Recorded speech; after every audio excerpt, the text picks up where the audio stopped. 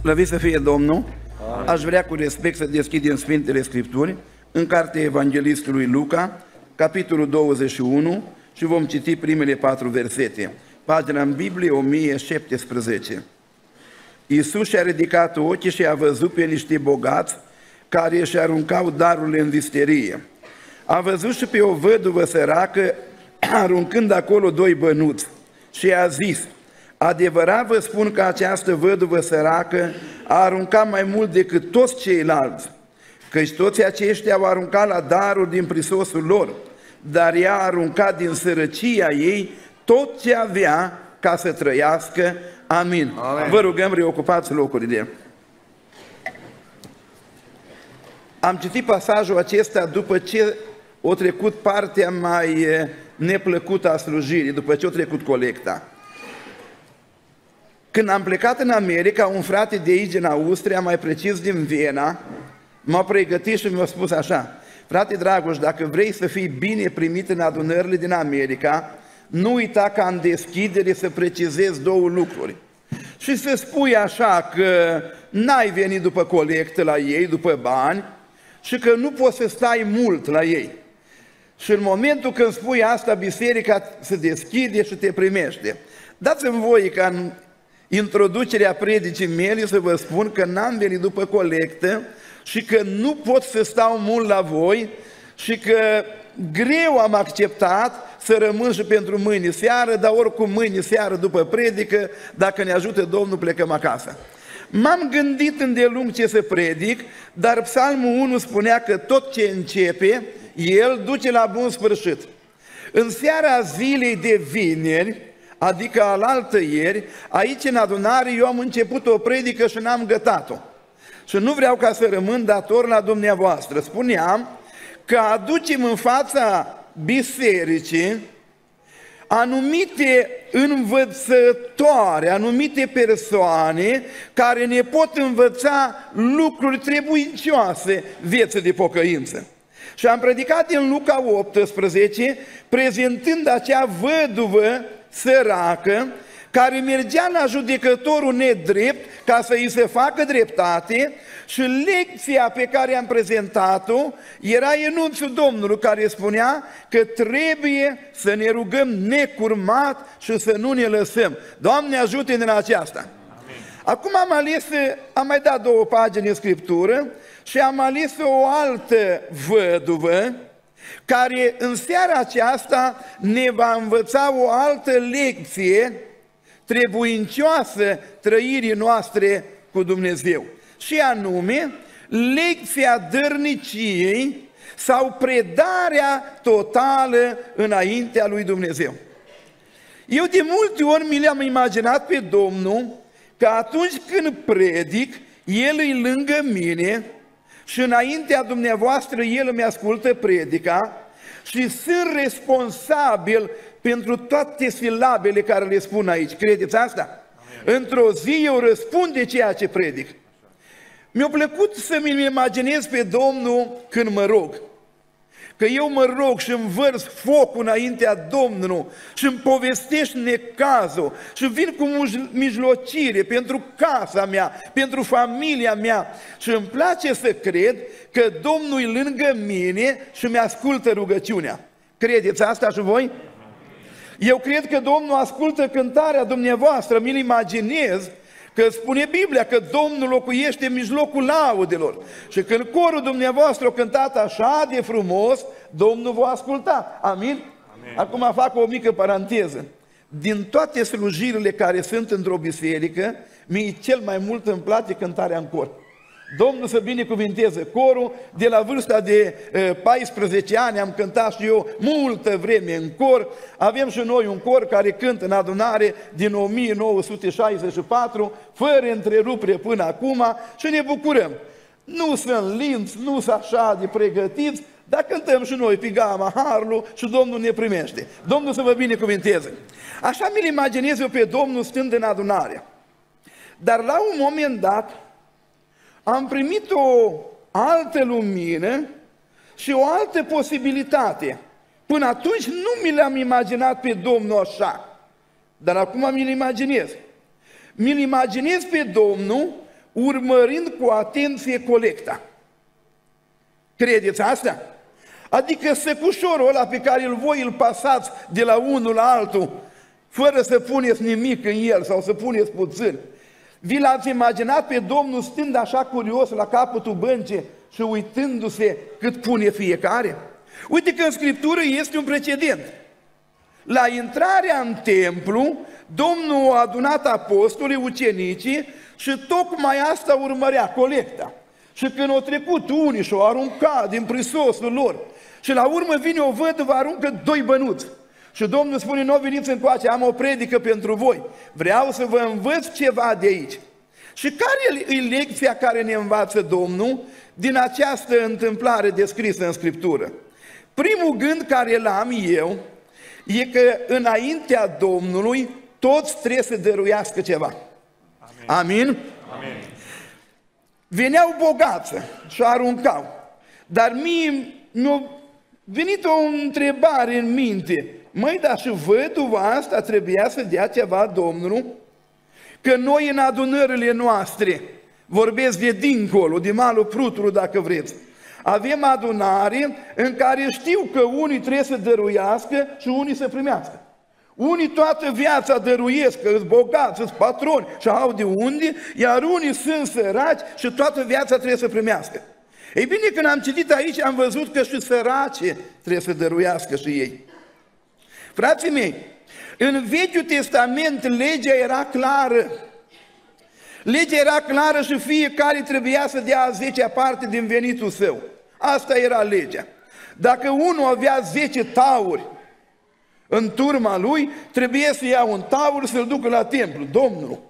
Dacă o văduvă avea un strat de mărar și avea 10 legături de mărari, trebuia una să o ducă la templu, scrie Matei 23 cu 23, voi dați zecială în închimenismă și mărar. Știți ce se întâmplă acolo? Dăruirea era proporțională cu câștigul și nu era niciun dispreț, nu era niciun dispreț acolo. Nu disprețuia pe văduva asta că aducea doar o legătură de mărar. Știu un frate din Iași care a început o afacere și s-a gândit el să dea zeciala. Nu, n-am venit să predic de zecială. Dar Dumnezeu așa l-a binecuvântat și a crescut foarte mult câștigul și banii care i-a adunat și firma a crescut. Și la un moment dat a chemat un frate din bordul de conducere și a spus, frate, știți că eu mi-am propus să dau zeciuiala, dar știți cât dădeam atunci? Ori acum la cifra de afaceri pe care o am, îi mult prea mult cât dau eu adunării zeciala. Ai văzut că trebuie să dau zeciala? Și am venit frate păstorul să spun că nu mai pot să dau zeciala asta. Și păstorul spune, nu-i nimic, hai ne plecăm pe genunchi, facem o rugăciune și ieși liber. S-a plecat pe genunchi și începe păstorul să roage. Doamne, când omul ăsta era sărac și trebuia să-ți dea așa de puțin, el da din, din câștigul lui, acum s-a îmbogățit și trebuie să dea așa de mult și nu-l mai lasă inima. Fără, Doamne, din nou sărac, ca să... Și să spune, nu, nu, nu, nu, lasă că dau, dau că trebuie, nu, gata, oprește rugăciunea. Și l-a oprit din rugăciune. Frații mei, asta era în Vechiul Testament.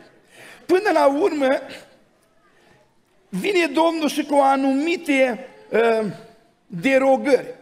În Levitic, în capitolul 5, ca jertfă de mulțumire, de ispășire, în versetul 6, să aducă o oaie jertfă Domnul.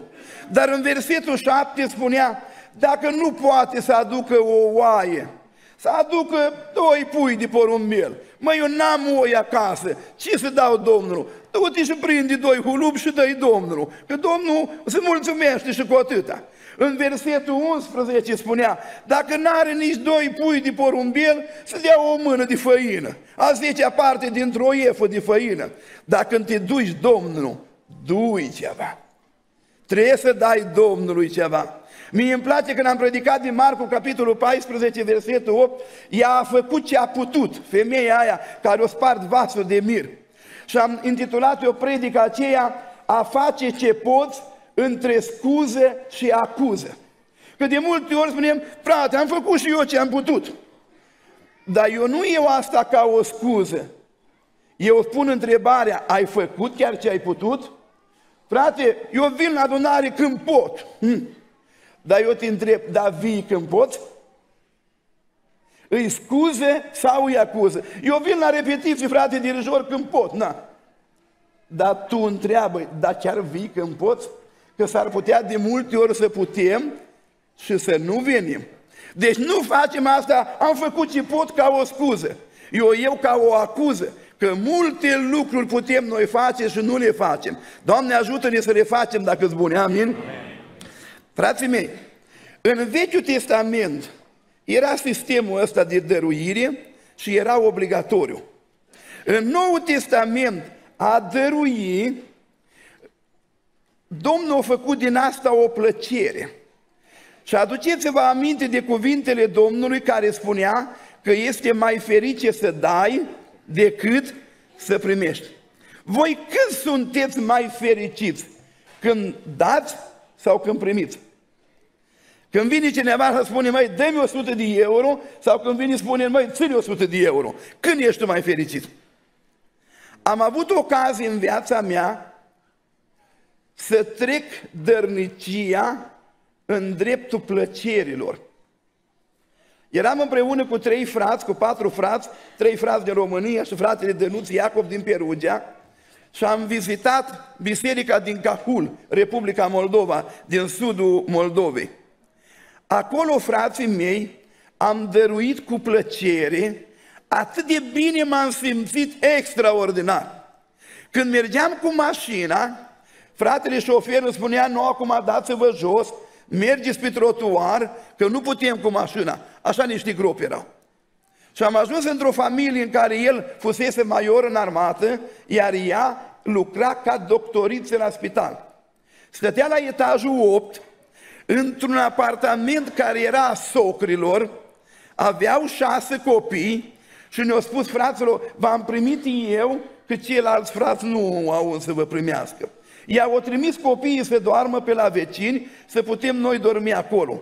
Și am întrebat cum e cu asistența socială. Și ea spunea, frate, au venit de la Consiliul Județean, o comisie, și ne-au pus patru întrebări. Unu, ai acasă calculator? Dar eu sunt doctoriță și lucrez pe calculator. Și am spus, da. Ai mijloc de transport? Și am spus, am. Că eu la spital merg cu bicicleta, că e departe. Și bicicleta era considerat mijloc de transport. Dai carne o dată pe săptămână la copii? Și eu am spus, da, că le dau, frate, am șase copii. Și a patra întrebare, aveți frigider? Și ea a spus, da și i-o tăiat și nu primea nici, nici nu s-a mai încadrat că era bogată. Frații mei, atunci am dăruit cu lacrimi. Fata cea mai mare avea un handicap, o să învață grozav de bine și ar fi dorit să studieze în România, nu putea. Am dăruit până la ultimul leu. Eu am găsit un leu când veneam înapoi, l-am întrebat pe Dănuț, păi tu ai benzină până... Am, frate. Și el, păstor din Italia, avea bani mai mulți ca noi. Și i-am dat tot, tot, tot, tot, tot, că veneam înapoi, voiam să mâncăm un, un pepene și nu mai aveam bani. Cu așa bucurie am dăruit, atât m-am simțit de bine că eu sunt omul care dau și care nu primesc. Dragii mei frați și surori, dărnicia asta Domnul spune că îi mai ferice să dai decât să primești. Acum eu vă întreb, chiar pentru îngrijirea casei de adunare, pentru strângerea care o dați pentru săraci, eu vă apreciez și vă spun că sunteți de nota 10, fratele i-a spus de multe ori, aveți o adunare frumoasă și fratele a spus, măi, noi n-am avut patroni când am început adunarea, dar am avut oameni cu inimă mare care s-au jerfit și am făcut adunarea asta. Domnul să vă binecuvinteze și rămâneți în continuare să dăruiți, că sunt mulți care au nevoie de ajutorul vostru. Dragii mei, mă uitam la văduva aceasta și i-a dat ceva Domnului. Am multe exemple din Scriptură de oameni care nu dau, am exemple din viața de zi cu zi, din diaspora, de oameni care trăiesc bine și nu dau. Îmi povestea fratele Vasile Iacoban că la ei la adunare, un frate făcea colecta. Și cum trecea el cu farfuria, cum e la țară, așa, când ajunge în drept cu fratele, ăla se pleacă și aranjează covorul. Ăsta se duce cu farfuria mai departe. Dar Vasile observă și spune, ia uite-vă că să nu a fost atent, o trecut cam repede. A doua duminică din întâmplare, când trecea fratele cu farfuria, Fratele cealaltă iar îți pleca și aranja covorul. Și spune Vasile, no, stai că la tine e problemă. A treia duminică spune, fraților, îmi dați voi să fac eu colecta? Dar unii spune, dar ce nu faci destul, doar ești păstor. Nu sunt demnat să fac eu colecta. Și mie îmi povestește, băi frate Dragoș, am luat farfurie, am trecut pe la toți, când ajung la fratele ăla, el aranjează covorul. Dar eu stau lângă el și îl aștept și mă gândesc în mintea mea, cât ai să stai tu ghibos acolo? Dorești să te ridici odată. Și când se ridică într-un final, frate, colecta ceva pentru lemne, pentru... A, da, frate, uite acum mai ia. Și o dat și el ceva. Frații mei, eu încă o dată vă laud că voi dăruiți, dar dacă nu dăruiesc tot, dacă sunt unii care cred că ei n-au, n-au trebuință să dea, eu la aceea le predic. Nu la aceia care ați lucrat zile întregi aici la adunare și ați dat peste puterile voastre. La aceia care nu mai dați, eu cu ea am treabă. Și îmi spune fratele Vasilie Iacoban, băi, mă duc în Italia la o adunare, program, har, frumos, cântă corul, la urmă se ridică păstorul, parcă era la cerșit, la pod. Și spune, fraților, cu rușine spunem că nu avem bani să ne plătim chiria și curentul, că avem niște datorii mari. Și Vasile spune, nu, așa, de la mine, decât să fac eu colecta, dacă eu mai făcut colecta. Și ia farfuria în mână, spune, oameni buni, el străin, cum aș face eu asta, eu nu o fac, dar el o face.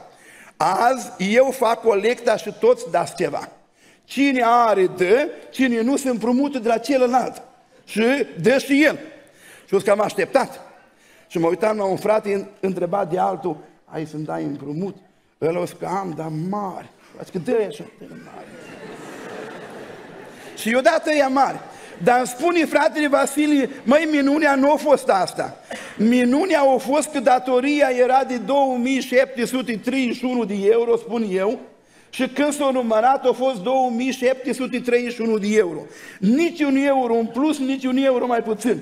Pentru mine asta a fost, să cade euro pe euro, euro datoria cu colecta.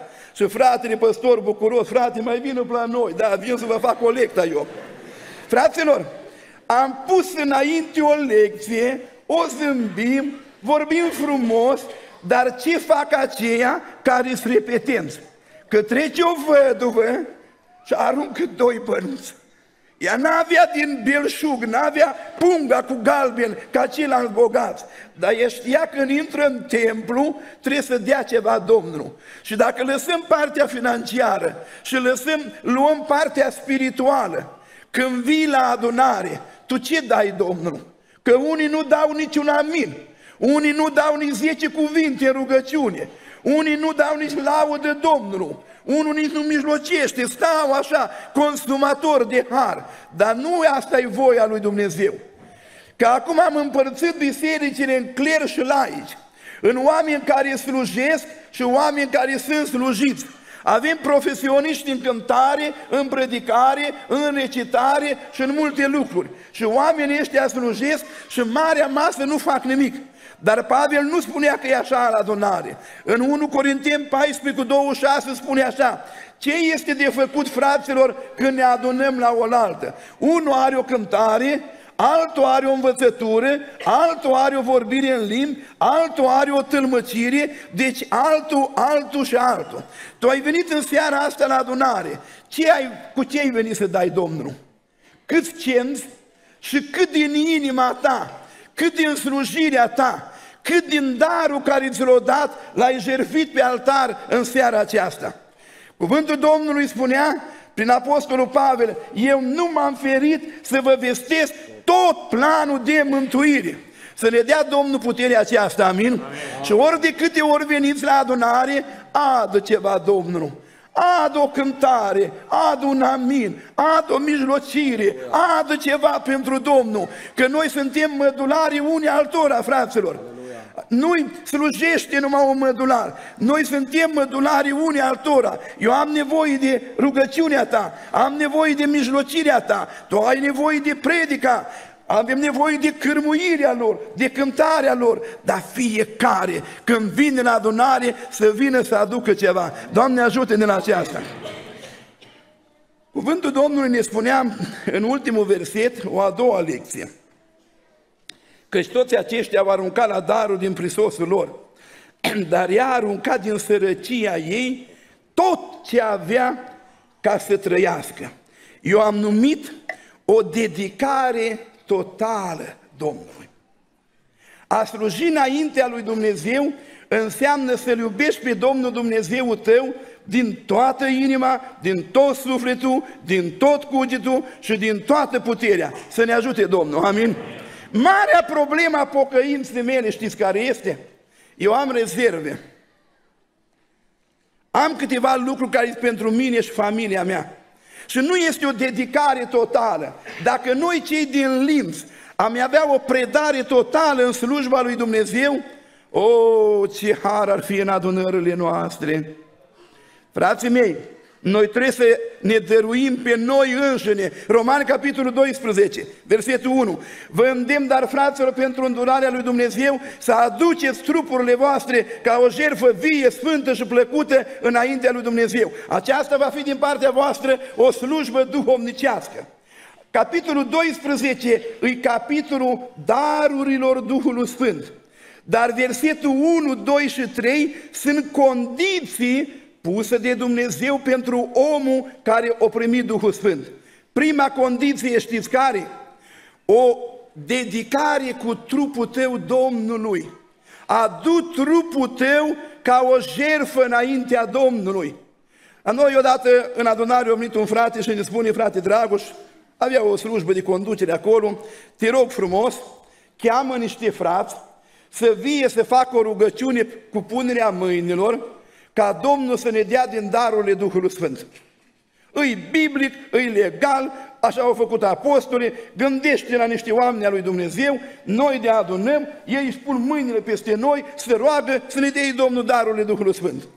Dar eu știam la omul ăsta ceva, nu prea venea la adunare, rar. Și am spus, dar ce vrei să faci cu darurile Duhului Sfânt? Vrei să dormi acasă cu el în pat?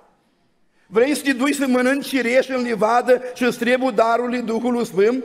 Păi Domnul când ne dă darurile Duhului Sfânt, noi cu astea venim la adunare și trupul nostru îl punem în slujba Domnului. Amin?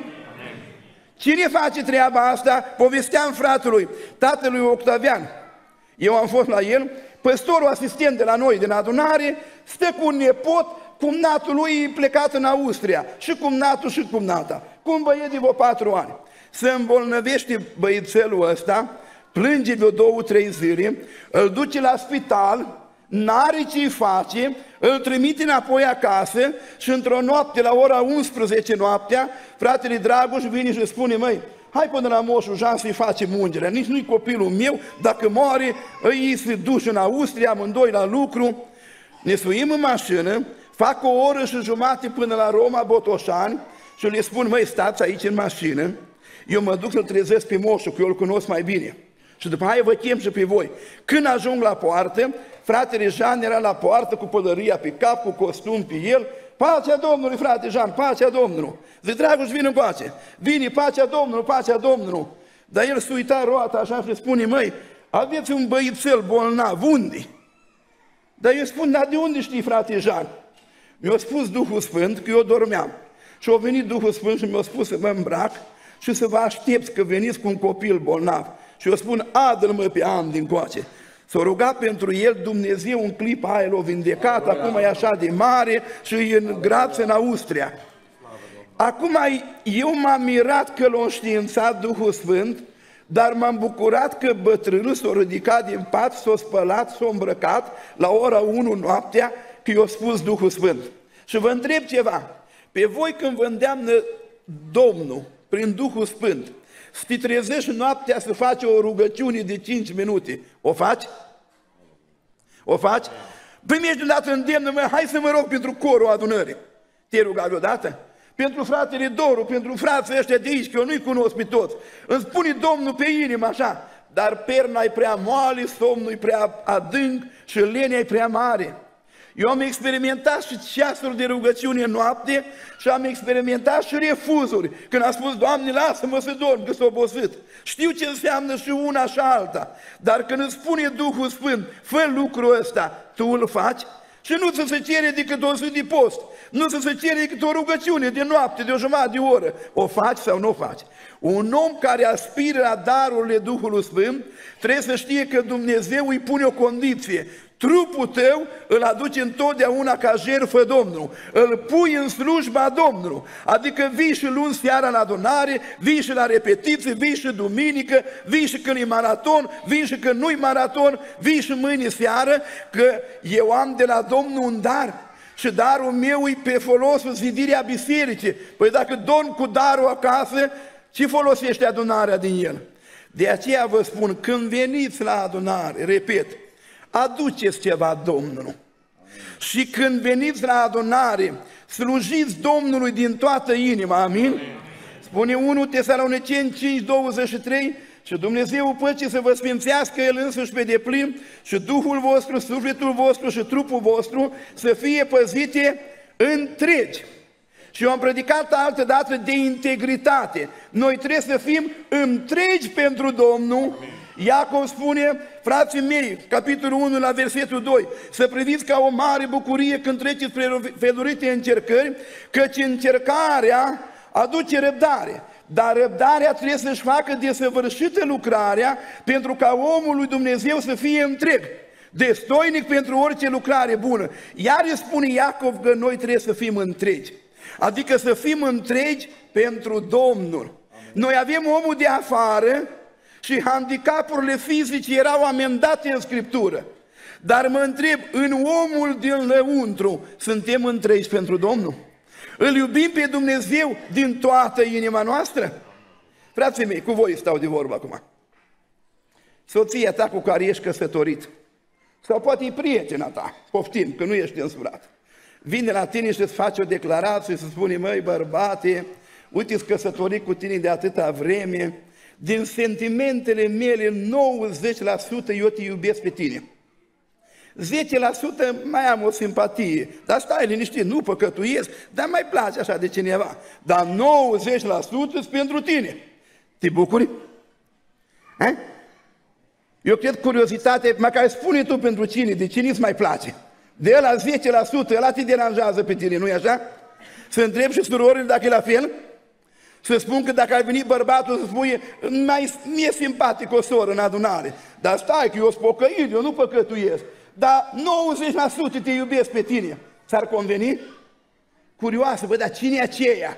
Spune măcar cum o cheamă. Ei bine, dar noi în slujirea noastră față de Dumnezeu avem mari rezerve. Dacă ar fi pe o scală de la 1 la 100, cât slujim noi Domnul și cât rezervă avem pentru noi, care să apropie acolo să-L iubești pe Domnul Dumnezeu tău, 100%, din toată inima, din tot sufletul, Dumnezeu să ne ajute, amin? Femeia asta a dăruit tot ce a avut. Și de aici înainte ea nu mai are nimic. El are pe Dumnezeu. De aici înainte ea depinde de Dumnezeu. Așa să slujim și noi Domnul. Marele probleme ale noastre în pocăință, nu ale voastre. Marea problemă a mea în pocăință că n-am o dedicare 100%. N-am o dedicare 100%, că mai am din gânduri pentru mine, că în egoismul meu mai păstrez ceva pentru, pentru euul meu. Dar dacă noi ne-am predat total lui Dumnezeu, ce frumusețe și ce har ar fi în adunare, să ne ajute Domnul să o facem. Amin. Când vorbeam de predarea asta totală, că văduva o dăruit tot ce avea. Ea nu păstra nimic pentru ea, că la urmă când Dumnezeu face socoteala, El nu socotește cât ai dat, El socotește cu cât ai rămas tu. Așa socotește Domnul. Nu erau acei doi galbini o valoare extraordinară. Pe Domnul o impresionat că ea nu mai rămas cu nimic, i-a dat totul și asta înseamnă pocăință. Vorbind de lucrurile acestea, am câteva gânduri. Cronici, capitolul 25, prezintă un împărat bun, bun, bun. Împăratul Amația, versetul 2, spune așa, El a făcut ce este plăcut înaintea Domnului, dar cu o inimă care nu era dată toată lui Dumnezeu. Amația l-a iubit pe Dumnezeu cu 90%, e mult. Au făcut fapte bune și dacă citim acolo, vedem faptele bune care le face. Când întărește domnia, omoară pe asasini, pe criminali care l-au omorât pe tatăl său. dar nu le face nimic fiilor săi, că așa scrie în lege. A avut curajul să se stăpânească și să împlinească Scriptura. Când citeam odată de Mardoheu și de Haman, Scriptura spune că Haman a ieșit mândru, toată lumea s-a plecat înaintea lui, dar Mardoheu nu. Și s-a mâniet Haman, dar acolo vine o, o expresie și spune, totuși a știut să se stăpânească. Și eu spun, măi, Haman rău ăsta știe să stăpânească. Și câte un frate în adunare botezat cu Duhul Sfânt, nu se poate stăpâni. Acasă nu te poți stăpâni până nu țipi, până nu bați cu pumnul masă, la un sfat frățesc, nu te poți stăpâni, să stai liniștit. Dacă Haman o știu să se stăpânească, n-ar trebui și noi să ne stăpânim? Să ne ajute Domnul la asta, fraților. Ei bine, omul acesta s-a stăpânit amația. O pedepsit pe cel vinovat, dar nu o pedepsit pe cel nevinovat. În al doilea rând, pleacă la război, tocmește o oaste dintre izraeliți. Vine un proroc și îi spune așa, chiar dacă ai face mari fapte de vitejie, Domnul nu-i cu tine. Dar ce să fac? Trimite pe ăștia înapoi, Domnule, că ăștia, Domnul nu-i cu dânsă. Dar ce să fac cu cei 100 de talanți care i-am dat? Domnul îți va da mult mai mult. Culmea, amația ascultă de proroc, îmi trimite pe izraeliți înapoi, ăia se răzbună, știți ce fac, dar Amația slujește Domnul. Coboară în Valea Sării și bate pe edomiți acolo și reputează o mare victorie. Asta e cu bucata mare de inimă dată Domnului. Dar mai avea o bucățică de inimă care nu era dată Domnul. Și vine Biblia în continuare și spune că o luat Dumnezeu din Seir și i-a adus la el și i-a pus Dumnezeia lui. Cu care inimă? Cu aia care nu era a Domnului. Că noi 90% suntem pocăiți. 99% suntem pocăiți. Numai cu 1% nu, nu suntem. Și 1% ce ne cazuri ne face în viața noastră. Și când o luat Dumnezeu, ăștia vine prorocul și spune, de ce ai luat idolii Seirlu și ai dus la tine? Același proroc. Și Amația spune, mai cine te-o chema să proroc? Pleacă, vrei să te lovesc? Cu care inima acum au refuzat prorocia, că mai înainte au ascultat-o? Cu partea bună a inimii au primit prorocia și cu partea rea a inimii nu au primit prorocia. Și spune prorocul, știu că Domnul te-a lepădat, că nu asculți. Și la urmă provoacă un război fraticid. Îi spune la împăratul lui Israel, hai să ne batem. Și ăla spune, stai mai liniștit acasă. Nu, nu, hai să ne batem. Cu care bucățică din inimă? Cu aia care nu era bună. Frații mei, noi avem o bucată mare de inimă dată Domnului și o bucățică care nu ia Domnul. Și bucățica aceea nouă ne face probleme. Văduva asta când o venit la templu, o dat tot ce a avut Domnul. Să ne ajute Domnul și pe noi. Amin? Amin. În Evanghelia după Matei vine la Domnul un băiet foarte educat, moral, un tânăr bogat, interesat de veșnicie, bunul învățător, ce trebuie să fac ca să moștenesc viața veșnică? Știi poruncile, toate le-am păzit cu strictețe. Un singur lucru îți mai lipsește. Du-te, vinde tot ce ai, împarte la săraci, vino și mă urmează ca să fii desăvârșit. Și băiatul ăsta nu a putut accepta condiția. Nu la mulți le-a spus Domnul să-și vândă averile numai la băiatul ăsta că era legat de avere. Eu când predicam de pocăință spuneam că în cadrul pocăinței există anumite lucruri comune. Să crezi în Dumnezeu, să te naști din nou, să primești botezul în apă, botezul cu Duhul Sfânt. Dar sunt anumite lucruri, particularități pentru cineva. Băiatul ăsta, ca să ă, ă, pocăință însemna să scape de avere. La unul, de exemplu, pocăință înseamnă tu ești bun tot, tot, tot, dar ca să fii desăvârșit, ar trebui să te lași de bârfă. Atât îți mai trebuie. Că pocăință înseamnă să te lași de lucru rău care te-a robit pe tine. De exemplu, eu pot să spun că eu de băutură nu m-am pocăit niciodată. Pentru că în viața mea n-am pus vârful limbii pe bere, vin sau altă băutură niciodată până astăzi. Nu pot să spun, eu m-am pocăit de asta. Păi nu m-am pocăit că nici n-am avut probleme. Eu de fumat nu m-am pocăit niciodată. că nici când eram copil n-am tras din mătasă de porumb niciun fum. Niciodată în viața mea. Nu pot să spun eu m-am pocăit de fumat. Când te pocăiești de ceva, adică te lași de un lucru rău, îl recunoști, îl regreți și îl abandonezi. La unii pocăința, m-am spus, a însemnat să se lasă de lăcomie. La alții să se lasă de bârfă, la alții să se lasă de minciună, ca să fie desăvârșit. Băiatul ăsta avea multe calități, dar îi mai trebuia un singur lucru ca să fie desăvârșit. Ții care lucru îți mai trebuie? Eu vă respect, sunteți oameni pocăiți, cred lucrul ăsta, dar ia gândiți-vă bine, ca să fii desăvârșit, ce ți-ar mai trebui? S-ar putea ca lucrul ăla, singurul lucru care îți lipsește, să te despartă de Dumnezeu. Băiatul ăsta a plecat întristat și Domnul spune câtea nevoi vor intra bogați în împărăția lui Dumnezeu. Care e lucru care te desparte pe tine de cer? În Iacov 1 cu 5 spune, dacă cuiva lipsește înțelepciunea, dar eu nu spun că lipsește înțelepciunea, ă, dau numai o, un caz ipotetic sau numai o, o idee. Dacă noi trebuie să împărțim timpul nostru între noi și Dumnezeu, între casă, între familie și Dumnezeu, cât luăm pentru noi din timp și cât îi dăm Domnul? Dacă ar trebui să dați zeciuială din timpul vostru, cât ați dat lui Dumnezeu într-o zi? Cât o să dai tu Domnul mâine, de exemplu? Sau cât o să dai poi mâine? S-ar putea că atunci când împărțim timpul, să nu dăm dovadă de înțelepciune. Să luăm mult pentru noi și foarte puțin pentru Domnul.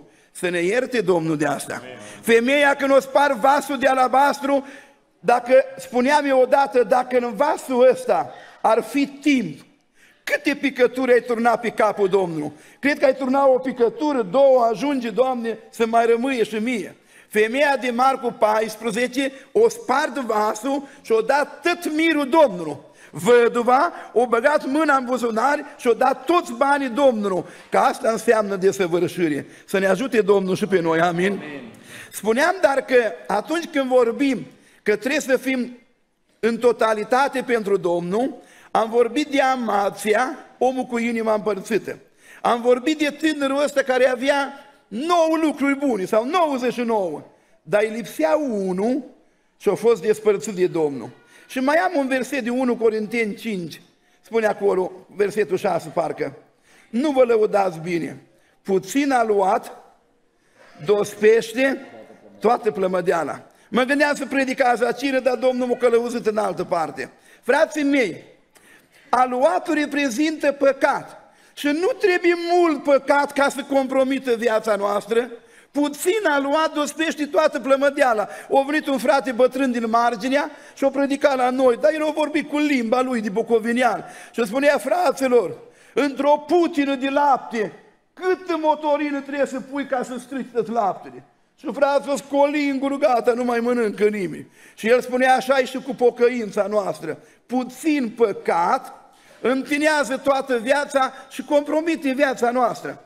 Puțin a luat, dospește toată plămădeala. Domnul spunea să vă păziți de aluatul lui Irod. Aluatul lui Irod reprezintă mândria. Avem puțină mândrie noi? Că nu ne trebuie multă, fraților. Puțină mândrie, că ea crește. Mândria crește, că aluatul crește și dospește. În Luca 9 cu 46 spune că ucenicilor le-au venit în gând să știe care e cel mai mare. Dar în aceeași Evanghelie, Luca 22 cu 24, între ucenici s-a iscat o ceartă care să știe care e mai mare. Căci gândul nu a rămas gând, gândul o dospit, gândul mândrie s-a umflat, o crescut și aici să gândesc și din coace să spădesc. Pentru că mândria crește, fraților. Avem un pic de mândrie noi? Un pic de mândrie ne face vrășmași cu Dumnezeu. Petru 5 cu 5, da? Că Dumnezeu stă împotriva celor mândri, dar celor smeriți le dă har. Eu eram într-o adunare, adică nu, am costit până, până la amiază, aveam o mormântare. Am mai povestit eu asta. Și m-au pus la predic, ajung, fac un duș, mă duc, predic repede și mă duc înapoi în, în curte. Fratele Virgil Neagu era lângă mine și îmi spune, băi, slavă Domnului, ai avut un cuvânt bun. Dar eu spun, băi, Virgil, n-am fost pregătit deloc, m-a luat ca din oale, nu știam ce să spun. Dar el spune, să uită la mine, spune, măi, mândrule, bă, dacă erai pregătit, ce, ce aveai să spui? Eu când ți-am spus că ai predicat bine, trebuie să spui slăvit să fie Domnul, dacă erai smerit. Că am mai fost eu într-o adunare și au cântat un băiat la acordeon, mă, dar o cânta frumos. Și când am venit în bancă, am spus, Domnul să te binecuvinteze, mai cânta frumos. El spune, frate Virgil, acum ați răgușit? Că dacă nu eram răgușit, avem un pic de mândrie. Numai la urmă, frate, lucrurile astea trebuiau spuse la noi. Domnul ți-a spus. Și dacă nu veghezi, ziarul ăla care mi-l pun unii sub picioare, mă dărâmă cu totul. Că puțin a luat, dospește toată plămădeala. Să ne păzească Domnul de asta, amin? Să fim smeriți în totalitate pentru Domnul, amin? Păziți-vă de aluatul fariseilor, care este fățărnicia. Aveți un pic de fățărnicie? O mai numim noi așa mai domestic, mai delicat, diplomație. Dar asta nu e de la Domnul și nu e din Scripturi. Eu am o predică de fățărnicie și când vorbeam de pericole fățărnicie, spuneam așa, fățărnicia e greu de depistat. Că postește și ăla pocăit și postește și fățarnicul. Face milostenie Sfântul și o face și fățarnicul. Nu spune Domnul, voi să nu faceți. Și toate lucrurile bune le fac și pocăițe, le fac și fățarnice. Cum îi cunoști? Greu de depistat fățărnicia. Apoi fățărnicia asta este molipsitoare. Că spune în Galateni că în lat, când Chifa a fost prins de fățărnicie, în lațul fățărniciei a fost prins și Barnaba. Și atunci Pavel i-a stătut împotrivă, că dacă tu ești fățarnic cu mine, Păi eu știu să dau mâna, să zâmbesc, să te sărut, așa, dar ce gândesc eu în capul meu, nu mai, n-ai să știi tu niciodată, că fățărnicia îi molipsitoare. În al treilea rând, fățărnicia îi prinde pe toți. Că dacă l-au prins pe Chipa și pe Barnaba, apoi nu i-o fui rușinii diavolului să vină la mine cu fățărnicie. Dar eu doresc ca Domnul azi să ne scape de fățărnicie. Nici un pic de aluat, fraților. Și Pavel când a văzut că la Petru îi un bob de aluat de asta de fățărnicie, repede s-a suflicat, o băgat mâna acolo în coca lui Petru și o scos. O spus, dacă tu care ești iudeu trăiești ca neamurile, cum vrei neamurile să trăiască ca iudeii? I-am stătut împotrivă, spune Pavel, că era de condamnat. O luat fățărnicia și o scos-o. Frații mei, când vine păstorul sau un frate și ceva nu-i bun la tine, ceva din mândrie, ceva din ținută, ceva din vorbire și te scoate păcatul de acolo, nu îl vorbi de rău. Îi fratele care îți vrea binele. Amin. Eu atâta l-am urmărit pe Petru, că Petru e iutișor. Îl știți voi pe Petru. Și am spus, mă, dar chiar să lasă călcat așa de Pavel, n-are Petru o replică. Și l-am urmărit pe Petru în toată slujirea. Și Petru face o referire la urmă lui Pavel. În 2 Petru, capitolul 3, când vorbește de venirea Domnului, el spune așa, despre aceste lucruri vă scris și prea iubitul nostru, frate Pavel. Petru nu s-a răzbunat. Petru a spus, măi, Pavel a avut dreptate, Pavel a vrut să mă pocăiesc, Pavel a luat aluatul ăla de fățărnicie din mine și l-a aruncat și eu am rămas sfânt. Nu priviți cu ciudă nu priviți cu dușmănie când un frate te corectează în viața de pocăință. Tu ești sfântă, tu ești sfânt, tu ești un copil al Domnului. Dacă puțin a luat, o intrat în viața ta, lasă-l pe fratele să-l scoată ca să fii desăvârșit. Doamne, ajută-ne la asta, amin?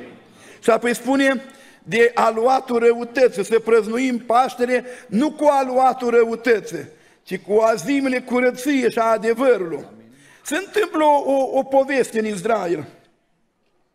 O femeie plătește niște asasini, niște călăi. Ce oameni, dar ce femeie, că și ea era mamă și ea avea copil. Și intră în dormitor, în Palatul Imperial și omoară pe toți prințe, pe toți. Eu văd acolo chipuri îngrozite, copii nevinovați, băiței mici și mai mari și Atalia cu sabia îi omoară pe toți. Numai unul a scăpat că l-a luat doi că l-a ascuns și l-a băgat undeva în camera uh, paturilor acolo. Și băiatul ăsta i luat de marele preot Jehoiada și i dus la templu. Și băiatul ăsta n-are colegi de joacă și n-are minge și n-are bicicletă și n-are voie să se bucure că în țară domnea Atalia. Și îi spunea Iehoia, taci din gură, taci din gură să nu te audă. Și băiatul ăsta n-are copilărie, dar ascultă-ne marele preot. Când are vreo șapte sau opt ani, îl face împărat. Și domnește bine în vremea marelui preot. Dar marele preot moare și împăratul se închină la idol. Și atunci vine un proroc și stă înaintea acestui împărat și îi spune pentru ce te-ai închinat idolilor. Pentru ce ai părăsit credința ta? Uite, Domnul stă împotrivă. Și împăratul spune, omorâți-l cu pietre. Și au început sfetnice să-l omoare cu Petru, cu pietre. De aceea spune Ierusalim, Ierusalime, care omor pe prorocii tăi care îi trimit la tine, că strigă sângele lor de la neprihănitul Abel până la Zaharia, fiul lui Berechia, pe care voi l-ați omorât între tindă și altar. Și când omul ăsta moare sub ploaie de pietre, se uită la împărat și spune să judice Domnul între mine și tine. Știți cine era preotul? Cine era prorocul? Era fiul marelui preot care l-a salvat pe împărat. Și Biblia spune și a uitat tot binele care îl făcuse tatăl său. Măi, oameni buni, veniți din România, locuiți ca străini împrăștieți în Austria, ați fost într-o adunare sau n-ați fost din aceeași adunare, vă împins nevoile până aici în Occident și nu vă judecăm că ați venit. De ce ar intra răutatea între noi? De ce ar intra invidia între noi? De ce ar intra spiritul competitiv în lucrurile materiale? De ce n-am trăit ca frați? De ce ne-am trăit ca și copii al lui Dumnezeu? De ce lăsăm ca aluatul răutății să intre în adunare, să intre în slujitori, să intre între surori, între tineri? Să dea Domnul să scoatem azi afară, amin? Da. Și Dumnezeu să ne ajute la aceasta. Da. Frații mei, timpul se apropie, vreau să-mi apropii și eu predica. Eh, știi ce se întâmplă? Am vorbit de o lecție, o văduvă, o venit și ne-a învățat o lecție că trebuie să ne rugăm necurmat și să nu ne lăsăm. Dacă nu o să țineți minte predica, o să țineți minte că am adus două văduve la voi la adunare. Măcar asta o să știți. Că am adus o a doua văduvă și ne-au învățat că toți trebuie să dăruim Domnului și din punct de vedere financiar și spiritual să aducem ceva la adunare. Și văduva asta ne-a învățat predarea totală în slujba Domnului. Așa să ne ajute Domnul. Amin.